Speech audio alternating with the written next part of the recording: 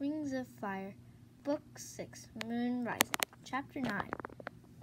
This is the start of Part 2. But you can't be, Moon whispered, then realized that she'd spoken aloud when Sora looked up and blinked at her. She turned toward the wall and thought, Darkstalker lived over 2,000 years ago. I know, he sighed. I've been asleep a long time, apparently. I suspect this bracelet was supposed to keep me that way forever. So what happened? Moon asked. Why are you awake now? It's broken, he said. After 2,000 years, almost anything becomes weaker. Something must have jarred it and snapped it off. The earthquakes? Moon wondered. There was a comet six months ago. As it passed by, there were a lot of earthquakes and strange weather. That's when I woke up, he said. So you're probably right. Moon hesitated. Six months ago was when her nightmares had started, the ones about Jade Mountain falling. Was she seeing visions of something that would ultimately be caused by Darkstalker's awakening? I'm not actually a monster, no matter what the squirrels and ghost stories say, he said. Can't you tell? Where are you? she asked, instead of answering. That I don't know. Somewhere dark, covered in stone. I can't move. I can only think. He let out an odd sort of chuckle. Perhaps you can see why I was so pleased to find you. I can hear others, but no one else can hear me. Makes for a lot of very boring, one-sided conversations. She didn't know what else to say. She'd expected, well, another dragon like her. Expected some, someone she could meet and go flying with. She did not expect to be talking to the legendary monster of Nightwing nightmares. I'm not a monster, he said again quietly. Seems history has painted me that way. But perhaps that's what happens when you disappear before you can tell your own story, and only your enemies are left to finish it. All your best friends turned enemies, apparently. Moon rolled back to the Darkstalker section of the scroll. A handsome dark face stared regally out at her. He had the silver scales in the corner of his eyes, too. Formidable dragon, Darkstalker said with mild amusement. I suppose that's true, but it's not my fault I was born with all these powers. I think you know something about that. I've never plotted to steal any thrones, though, Moon thought, pointed out, or killed my father. I think you would if you'd had my father. I saved a tribe from him. Darkstalker argued. He was a lot worse than I am. The scroll's version of the story is highly oversimplified. As for being king, why not? Just because we've only ever had queens, does that mean a king? Does that mean a king is impossible? Why would I have all these gifts if I wasn't supposed to use them to lead and protect the tribe? It felt as though he'd suddenly seized her mind in an iron grip. Moon winced, touching her head. Listen, Darkstalker said. I can see the future, but not just any future. All the possible futures. Do you understand what that means?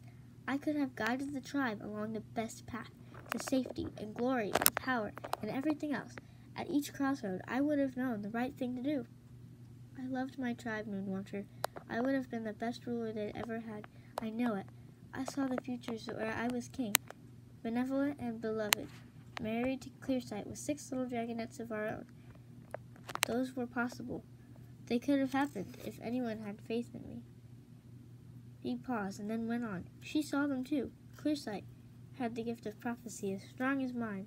She knew those futures existed, but she also saw the ones where I turned toward evil destroying instead of protecting. She didn't believe me that I would avoid those paths. In the end, I guess she didn't believe in me at all. I wonder what happened to her. There was another really long pause. This is going to sound weird, Moon offered, but I kind of want to give you a hug right now. Darkstalker barked a laugh. How did she surprise you then? Moon asked. If you could see all the futures, how did she trick you with the bracelet? I had too much faith in her, he said. I saw the possibility that she would betray me in more than one future, but further down the line.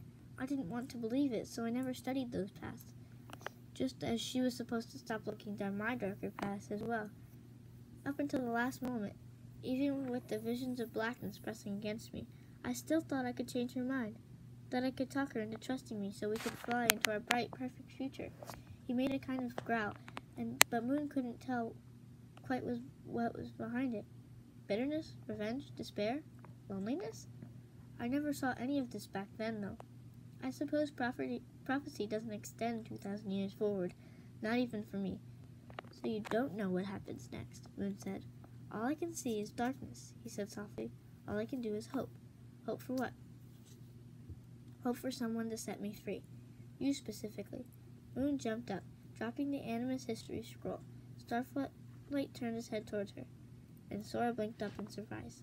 Sorry, Moon said. Just had a thought. How can I set you free? she cried. I'm nobody.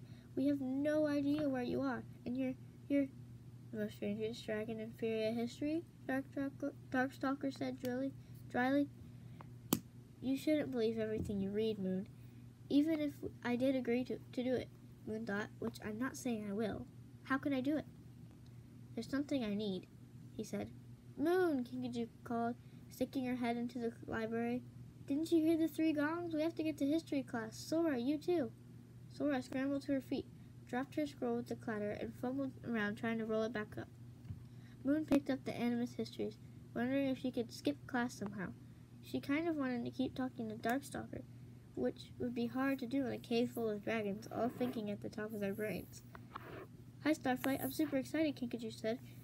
I don't know anything about history. I have like a million questions for Webs. Like, what's the scorching? And is it true that there used to be scavengers everywhere? And who started the Talons of Peace? And what's that big IceWing tragedy from the past? And a scream of terror suddenly echoed through the tunnels. Help! Somebody screamed. More tunnels, more screams, and the clamor of running dragons joined the tumult. The Skywing, she's here to kill us all!